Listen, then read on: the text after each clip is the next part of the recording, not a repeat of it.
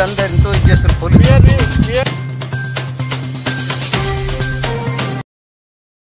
ప్రపంచవ్యాప్తంగా నూట ఎనభై మూడు దేశాలకు కరోనా వైరస్ విస్తరించింది. మొత్తం ప్రపంచాన్నే ఈ వైరస్ గడగడలాడిస్తున్న పరిస్థితుల్లో అగ్రరాజ్యమైన అమెరికా కూడా భయపడుతున్న పరిస్థితి. ఎందుకంటే అగ్రరాజ్యం అమెరికాలో ఇప్పటి వరకు దాదాపుగా ఓ లక్ష మంది పాజిటివ్ కేసులు అక్కడ నమోదైనాయి. అదేవిధంగా ఇటలీని చూసుకుంటే ఇప్పటి వరకు పదివేల మంది చనిపోయారు.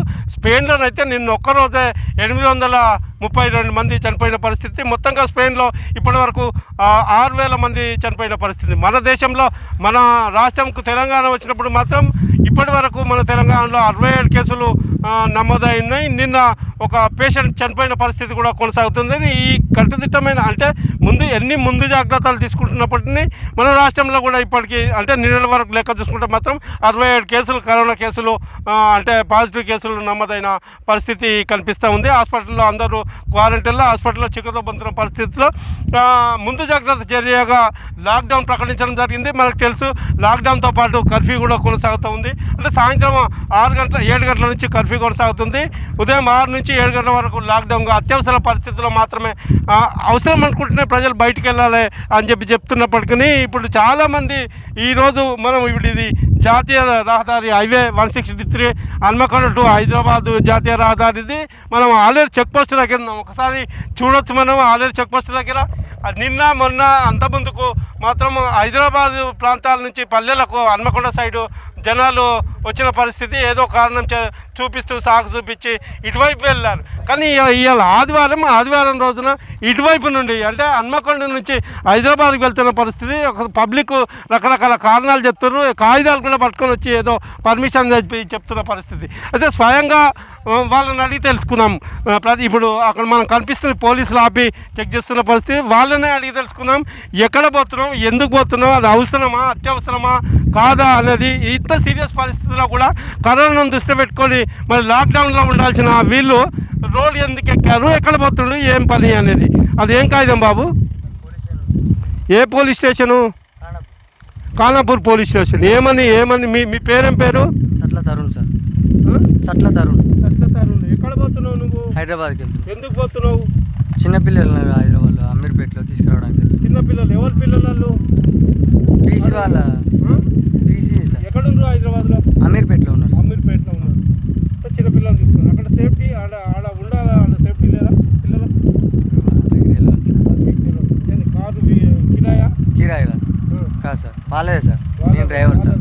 నేను డ్రైవర్.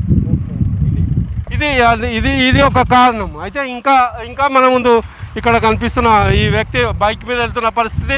మీ మీ పేరేం పేరు అన్న? సదానందం అండి. నా పేరు సదానందం. సదానందం. హన్మకొండ నుంచి వస్తున్నాను.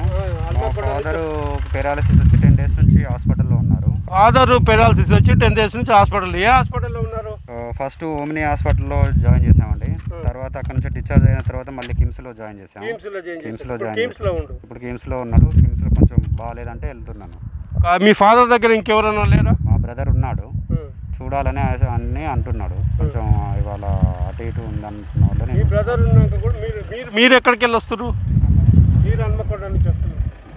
ఇది అంటే మొత్తంగా హెల్త్కి సంబంధించిన ఇష్యూస్ ఎక్కువ రోడ్ మీదకి వస్తున్న పరిస్థితి. మరి అది ఇది అయితే కరోనా మాత్రం సీరియస్. కరోనా వల్ల దానికి మందు అయితే లేదు. ఇప్పటి వరకు కనుగొనలేదు కరోనా సోకితం మాత్రం ఖచ్చితంగా డేంజరస్ కరోనా ఇది.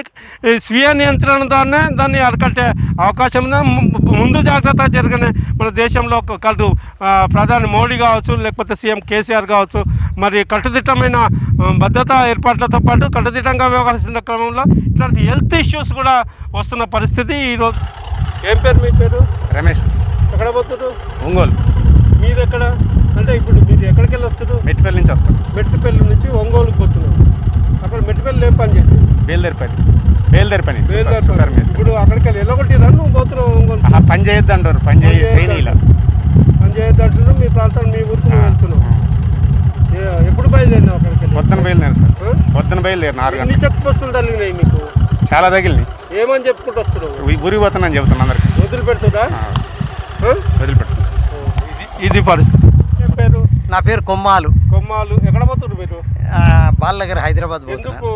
నా పెద్ద బిడ్డను మెంటల్ హాస్పిటల్ అయ్యి మా చిన్న కొడుకు పెద్ద పెద్ద గోల చేస్తుందట అనగబడి కొడుతుందట చేస్తుందట నా భార్య చచ్చిపోయింది.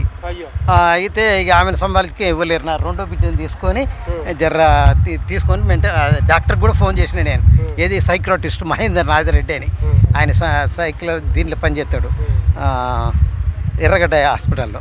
ఆయనకు ఫోన్ చేసి అంటే ఏం చేయాలి అని అన్నట్టు నీ కాళ్ళు పడతా సార్ ఏమైనా చేయి మెత్తం వరంగల్ నుంచి ఇక్కడ జనగాం. జనగాం అవును sir. Police check police police check పోస్టులు తల్లినాయా ఆ, అక్కడిక్కడ చూసిన సార్ వాళ్ళను. ఎవరైతే ఇది ఆపలేదు ఒక సబ్ ఇన్స్పెక్టర్ పోలీసు మహేందర్ ఆయన ఉన్నాడు సార్. ఆయన రిక్వెస్ట్ చేస్తే ఆయన నంబర్కి ఇచ్చిండు. ఎవరన్నా రిక్వెస్ట్ చేసుకుంటూ పోని ఇష్టం అన్నాడు ఆయన.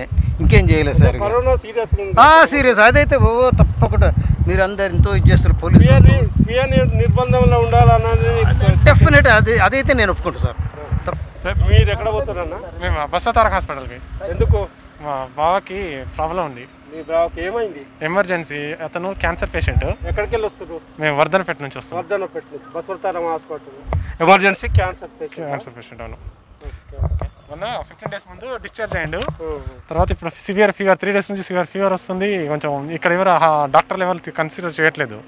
సో అక్కడికి తీసుకెళ్తున్నాం వాళ్ళ రిటర్న్. మొత్తంగా జ్వరం అని లేకపోతే హాస్పిటల్ పోవాలని చెప్పి మా బాబుకు బాగాలేదు మా పాపకు బాగాలేదు. ఇది ఇది ఇక్కడ అంటే జనరల్గా ఇట్లాంటి కేసులు మాత్రం చాలా ఇట్లా మెడిసిన్స్ పట్టుకొని వస్తున్న పరిస్థితి. ఇప్పుడు మనం టైం చూస్తాం రెండు రెండున్నర అవుతుంది. ఒక్కసారి అక్కడికి వెళ్ళి హైదరాబాద్ నుంచి ఇటు పల్లెల వైపు మార్గం కూడా రాకపోకలు బంద్ అయినా కానీ ఈ రోజు మాత్రం ఆదివారం ఇక్కడికి వెళ్ళి స్టార్ట్ అయింది. ఒకసారి మనం విజువల్లో చూడొచ్చు.